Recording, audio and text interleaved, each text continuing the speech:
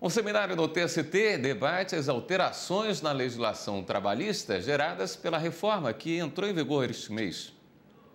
Uma oportunidade de debater as mudanças geradas pela reforma trabalhista. Juízes, advogados e estudantes de todo o Brasil acompanharam o primeiro dia do seminário promovido pela Escola Nacional de Formação e Aperfeiçoamento de Magistrados do Trabalho, a ENAMAT. O evento foi realizado no plenário do TST quando muda a legislação, quando há, por exemplo, alteração também mais substancial da nossa jurisprudência, nós temos essa, uh, esse vanguardismo de trazer para cá, para dentro do tribunal, a discussão. E aqui uma reforma desse porte não podia ser fazemos por menos. Quem também participou do seminário foi o ministro do Supremo Tribunal Federal, Marco Aurélio Melo. Na conferência que abriu o seminário, ele falou sobre os desafios que a justiça trabalhista deve enfrentar com a reforma.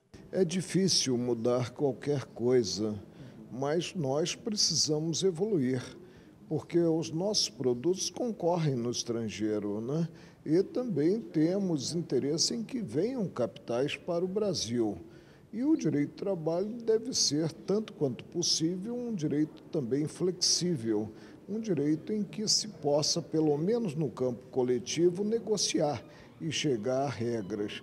Agora, tudo é muito novo em termos de normatividade. Nós precisamos aguardar os ajustes que são feitos pelo próprio Estado juiz, ou seja, pelo Judiciário. O seminário sobre a reforma trabalhista promovido pela Enamate vai até amanhã no plenário do TST.